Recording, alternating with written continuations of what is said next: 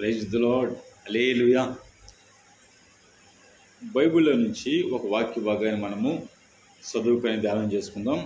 రెండవ రాజుల గ్రంథము నాలుగవ అధ్యాయము ఎనిమిది తొమ్మిది పది వచ్చినాలు మనం చదువుకుందాం.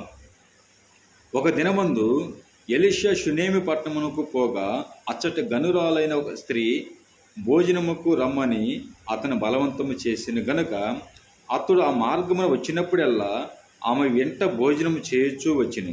కాగా ఆమె తన పెనిమిటిని చూసి మన ఎద్దకు వచ్చుచూ పోవచ్చున్నవాడు భక్తుగల దైవజనుడని నేను ఎరుగుదును కావున మనం అతనికి గోడ మీద ఒక చిన్న గది కట్టించి అందులో అతని కొరకు మంచము బల్ల పీట దీపస్తంభము ఉంచుదము.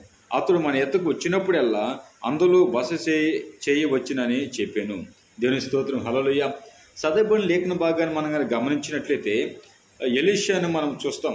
ఏలేని ఎమ్మడించి ఏలే మీద ఉన్న అభిషేకము రెండంతల అభిషేకం కావాలని కోరుకున్న వ్యక్తిని ఎలిషాను మనం చూస్తాం. అయితే ఈ షునేమి పట్టణంలో గనురాలైన స్త్రీని మనం చూస్తూ ఉన్నాం. అనగా గనురాలు అనే పేరు మనం చూస్తాం. చాలామంది కూడా మూడు రాలు అనేది అనే పేరు కలిగిన వాళ్ళు మనం చూస్తాం. అదేవిధంగా కూడా భయం ఎంతోమంది కూడా ఆ బుద్ధి లేని వారని స్త్రీలు అనేకమైన అర్థాలు వచ్చే స్త్రీలను కూడా మనం చూస్తాం. ఈ స్త్రీకున్న పేరేమిటంటే పేరు ఏమిటంటే గనురాలు అనే పేరుని మనం చూస్తున్నాం. ఏ పట్టణంలో ఉందంటే సునేమి పట్టణంలో ఏమి ఉంటుంది.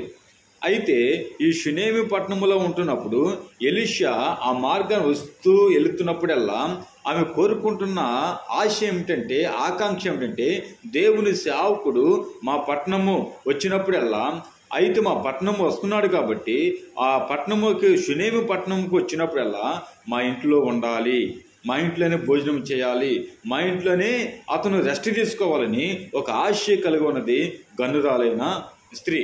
అయితే అతను మన ఇంటికి వస్తూ పోవచ్చిన దేవుని సేవకుడు ఎలాంటి వ్యక్తి అని ఆమె సాక్ష్యం ఇస్తుందంటే భక్తి గల దేవుని సేవకుడని సాక్ష్యం ఇస్తా ఉంది. ఆమె హలోయ ప్రేమని దేవుని సంగమా? దేవుని బిడ్డలారా ఈ వాక్యం వింటున్న విశ్వాసులైన మీ జీవితాల్లో మన ఇంటికి వస్తూ పోవచ్చిన దేవుని సేవకుడు భక్తి కలిగిన వాడా లేదని కూడా మనకి అర్థం అర్థమవుతుంది. ఎందుకంటే అతను ఉంటున్న విధానము అతను మాట్లాడుతున్న మాటలు అతను ఉన్న ఆత్మీయతను చూసినప్పుడు భక్తి కలిగిన వాడు కాదని కూడా మనకి అర్థమవుతుంది. అయితే ఈ షునేమి పట్టణంలో ఉంటున్న ఈ గనురాలయ స్త్రీకి ఎలిషా పక్షాన ఏమంటుందంటే మన ఇంటికి వస్తూ పోచిన దేవుని సేవకుడు భక్తి కలిగిన దేవుని సేవకుడు అని ఏమి నోటి నుంచి మనము వింటున్నాం. ప్రియమైన దేవుని సంగమా ఎంతగా అసలుకి ఒక వ్యక్తి గురించి ఆమె క్షుణ్ణంగా పరిశీలించింది కాబట్టి అతను భక్తి కలిగిన దేవుని సేవకుడు అని సాక్ష్యం ఇస్తూ ఉంది. అయితే ఆమెకు ఆశ ఏమిటంటే ఈ షునేమి పట్టణానికి వచ్చినప్పుడల్లా మా ఇంట్లో ఉండాలి. మా ఇంట్లోనే బస్ చేయాలి మా ఇంట్లోనే దేవుని సాకుడు రెస్ట్ తీసుకోవాలి అని ఒక ఆశ కలిగి ఉన్నది చాలా శ్రేష్టమైన ఆశ. ఆశ కలిగిన ప్రాణాన్ని దేవుడు తృప్తిపరిచే దేవుడు కనుక ఆమె ఆశ కలిగినట్టు ఏం చేస్తుందంటే దేవుని సేవకుడు ప్రత్యేకంగా ఉండాలి. ప్రత్యేకంగా ఉండాలి కాబట్టి మా ఇంటి మీద ఒక మేడ మీద ఒక గది గది కట్టించాలి. గది కట్టించటమే కాదు కానీ దానిలో ఏం కావాలి? అప్పటి కాల సమయంలో ఒక మంచ దేవుని సేవకుడు కొనుక్కుంటా మంచం కావాలి కండి. ఎక్కడ కొనుక్కుంటాడు మరి? కింద కొనుక్కుంటాడా కాదుగా. అందుకని ఆమె ఆలోచించి మంచము తర్వాత బల్ల పీట దీపస్తంభము. అనగా అప్పటి కాల సమయంలో వీటన్నిటిని గురించి కూడా రాయటం మనం చూస్తున్నాం మంచం ఉండాలి అదేవిధంగా కూడా బల్ల కావాలి దేవుని సావుకు ఎందుకంటే ఏదైనా ఐటమ్స్ పెట్టుకుని బల్ల కావాలి అదే పేట అంటే ఇప్పుడు మనం కుర్చీలు వచ్చేసినాయి. కూర్చుంటే దేవుని సావుకుడు వచ్చినప్పుడు కూర్చుండకి కుర్చీలు కూడా అంటే చైర్స్ కూడా కావాలి. దీపస్తంభం అంటే అప్పుడు కాల్సము దేవుని సావుకుడు ఇంట్లో మంచము ఈ బల్ల మీద పెట్టుకొని వాక్యం చదువుకోవాలంటే చీకటికి పడినప్పుడు దీపం కావాలి కదా. నరుణ ఆత్మ యహోవ పెట్టిన దీపము. ఎందుకంటే మూడు పారిపోయిన జీవితాలని అనగారిపోయిన జీవితాలని వెలిగించేవాడు ఆయనే. జడివానలు వచ్చినప్పుడు కూడా తుఫానులు వచ్చినప్పుడు కూడా ఎంత గాలివానలు వచ్చినప్పుడు కూడా ఆరిపోకుండా దానిని ఎలిగించేవాడు ఆయనే. అయితే దీపము కూడా దీపస్తంభం కూడా కావాలని కూడా దానిలో రాయటం మనం చూస్తున్నాం. అనగా ఇప్పుడు చూసినట్లయితే పెద్ద పెద్ద లైట్లు ట్యూబ్ లైట్లు వచ్చినాయి మామూలు లైట్లు వచ్చినాయి. అనగా దేవుని సేవకుడు వాక్యం చదువుతున్నప్పుడు లే వెలుతురు కూడా ఉండాలని దీపస్తంభం గురించి కూడా మాట్లాడినట్టుగా మనం చూస్తున్నాం. వీటన్నిటిని కూడా ఆ గదిలో ఏర్పాటు చేసినట్టుగా మనం చూస్తున్నాం. ప్రేమైన దేవుణ్ణి క్రైస్తవ లోకము క్రైస్తవ జనాంగమా ఎవరైతే ఈ వాక్యం వింటున్నారో వింటున్నారో మీ సంఘంలో ఉన్న దేవుని సేవకుని చాలా జాగ్రత్తగా చూసుకోవాలి. మీ ఇంటికి వస్తున్నప్పుడు చాలా జాగ్రత్తగా చూసుకోవాలి. అతను గౌరవించాలి ప్రేమించాలి. దేవుని సేవకుడు అంటే మనం ఒక ప్రత్యేకంగా చూడాలి.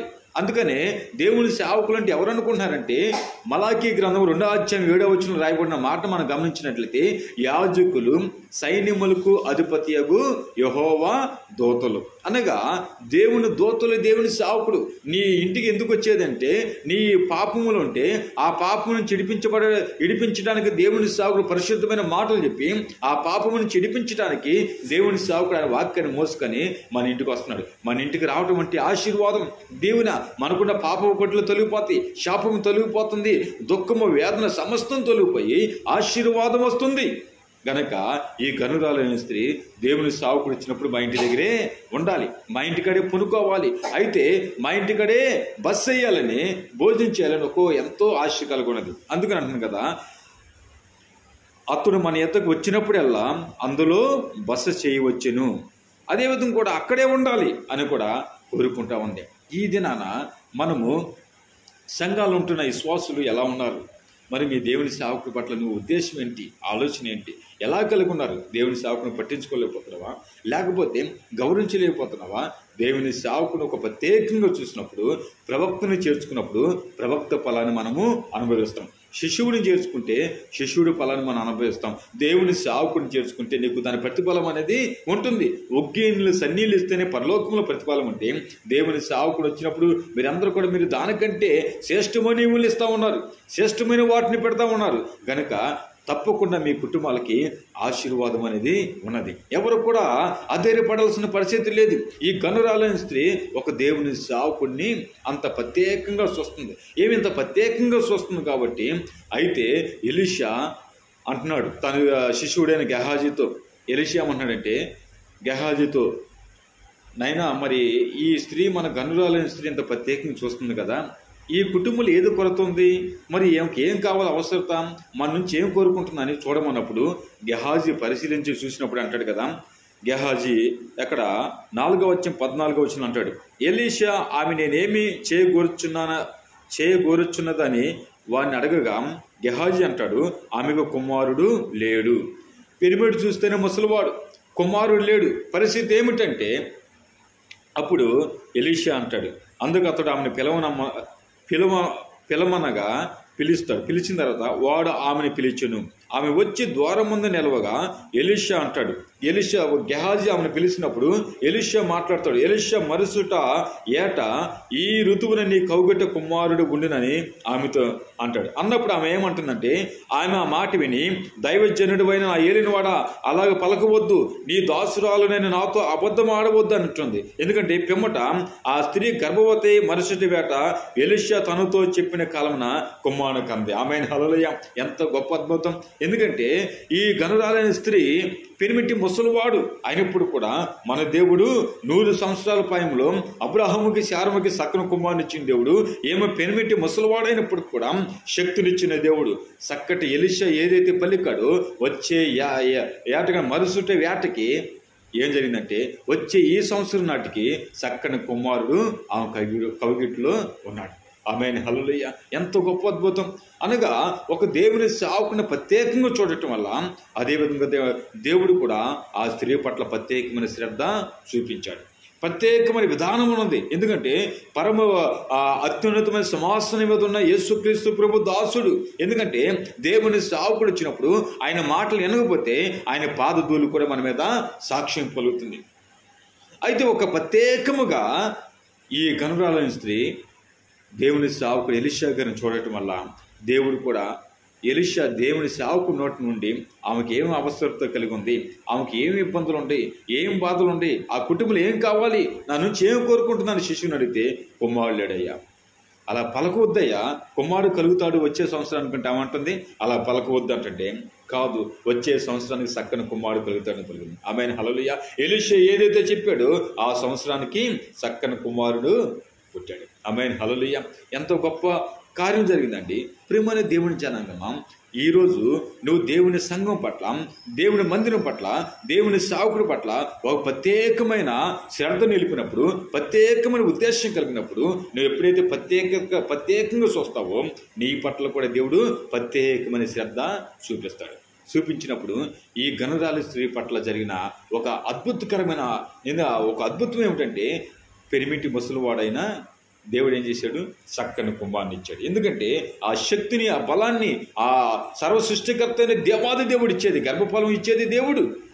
దేవుని సావుకుని పంపించి ఆ కుటుంబాన్ని దేవుడు ఆశీర్వదించాడు. ప్రేమని దేవుని ఆ సంగమా క్రైస్తవ లోకమా ఎప్పుడైతే ఈ గనురాలు చూడని ఎంత ప్రత్యేకమైన శ్రద్ధ కలిగింది. చాలామంది దేవుని సేవకుడు అంటే వాళ్ళదే ఉందండి అడుక్కున్న వాళ్ళు వాళ్ళదే ఉందండి ఇంటింటికి వెళ్తే పది రూపాయలు కానుకలు ఇస్తారు వాళ్ళదే ఉంది ఎందుకంటే వాళ్ళు చదవలేక వాళ్ళదే ఉండి పనులు పాట చేయలేక వీళ్ళు సేవకులు అయ్యాలనుకుంటారు కాదండి ఎందుకంటే దేవుడు పిలిస్తేనే దేవుని మాటలు చెప్పడానికి ఆ సర్వాధి ఆ సర్వశక్తి సర్వాధికారము దేవుని దగ్గర నుంచి రాకపోతే ఒక మాట మనము పలకలేము. ఎందుకంటే అది దేవుడిచ్చిన అధికారం అది. చాలామంది గనులు ఉన్నారు. ఎందుకంటే జ్ఞానులను సిగ్గుపరచడానికి జ్ఞానం లేని వారిని దేవుడు ఎన్నుకుంటాడంట. అమ్మాయిని హలలయ్య ధనవంతులు సిగ్గుపరచడానికి పేదవారిని ఎన్నుకుంటాడు దేవుడు. కనుక దేవుడు ఆయన చూపించే ప్రేమ సామాన్యమైన ప్రేమ కాదండి. ఈ గనురాల పట్ల దేవుడు గొప్ప ప్రేమను చూపించాడు. గల కారణం ఏంటంటే దేవుని సేవకుని ప్రత్యేకంగా చూడటం. కనుక ఈ వాక్యం ఏంటి ఈ జీవితాలు నీ నా జీవితాల్లో మనం చేయాల్సిన పని ఏమిటంటే ఒక ప్రత్యేకమైన శ్రద్ధ అనేది దేవుని సేవకుడి పట్ల కలిగి ఉంటే నీకు నీ కుటుంబానికి ఎంతవరకు ఆగిపోయిన వివాహాలు కూడా జరుగుతుంది. అదేవిధంగా ఇంతవరకు నీ కుమారుడికి జాబులు లేవా? అవి కూడా వాటిని కూడా దేవుడు ఇస్తాడు. వివాహాలు జరగాలన్నా ఉద్యోగాలు రావాలన్నా కుటుంబం కట్టబడాలన్నా నువ్వు గృహం కట్టబడాలన్నా నువ్వు ఒక ఉన్నతమైన స్థితికి వెళ్ళాలన్నా గొప్పవాడు కావాలన్నప్పుడు కూడా దేవుడు ఆజ్ఞలు లేనిదే ఏది కూడా జరగనే జరగదు. దేవునికి మనకు మధ్యవర్తి ఎవరై అంటే దేవుని సేవకుడు దేవుని దూతతో పోల్చాడు దేవుడు. ఎందుకంటే యాజకులు సైన్యములకు అధిపతి యొక్క యహోవా దూతలు. దోతలు దేవుని సేవకు మన దగ్గరికి వస్తున్నప్పుడు మన కుటుంబానికి తప్పకుండా ఆశీర్వాదం ఉంటుంది కనుక ఈ మాటలు వింటున్న మన జీవితాల్లో మన బ్రతుకులు మార్చుకుందాం మన జీవితాలను మార్చుకుందాం మన జీవన శైలి అనగా మన విధి విధానాలు మార్చుకొని ప్రభుకి మనం ఎప్పుడైతే సరెండర్ అవుతామో దేవుని గొప్ప ఆశీర్వాదము దేవున ఈ గనురాలైన స్త్రీ పొందుకున్నంత ఆ గొప్ప ఆశీర్వాదం నువ్వు కూడా పొందుకోవాలంటే తప్పకుండా దేవుని గురించి తెలుసుకోవాలి. దేవుని సేవకుడు అంటే అసలుకి అతని దగ్గర ఉన్న ఆశీర్వాదం ఏమిటి అనేది తెలుసుకున్నప్పుడు తప్పకుండా నువ్వు చేర్చుకుంటాం ఆతిథ్యం ఇస్తావు దేవుని సేవకుని గౌరవిస్తావు ప్రేమిస్తాం. ఎప్పుడు కూడా తోలనాడి మాట్లాడమండి. తునీకరించము మనము. వేలం చేయము. ఎందుకంటే దురుసుగా ఏ మాట కూడా పలకము.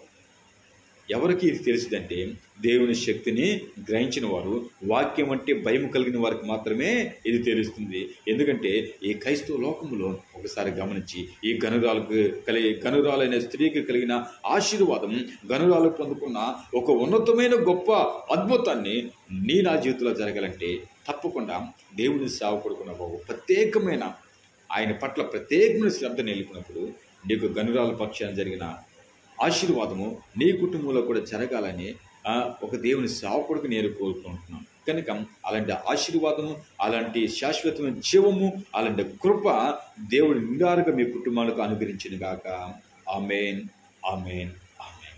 May God bless you amen